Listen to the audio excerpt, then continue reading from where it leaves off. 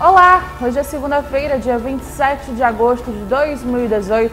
O Jornal Notícias de Caxias, segunda edição, vem aí com os seguintes destaques. Assaltantes encapuzados invadem casa de empresário e fazem família refém em Caxias.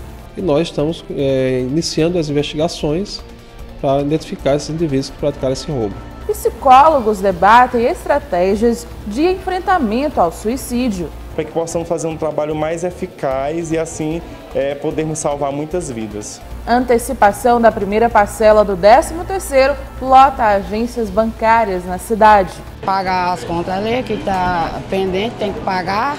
Diretoria da ABB é reeleita para novo mandato. As nossas propostas são é, é, é fazer com que os valores sejam acessíveis aos sócios atuais. E o resto você já sabe, né? O NC2 começa às 7h20 da noite aqui na TV Sinal Verde, logo após a novela Carrossel, às 7h20 da noite. A gente se encontra, né?